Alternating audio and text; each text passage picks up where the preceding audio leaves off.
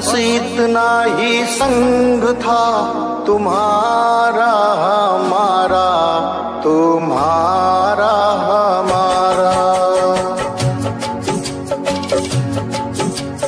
बस इतना ही संग था, तुम्हारा हमारा तुम्हारा हमारा। जाओ बेटी, खुश रहना, ले लो आशीष हमारा।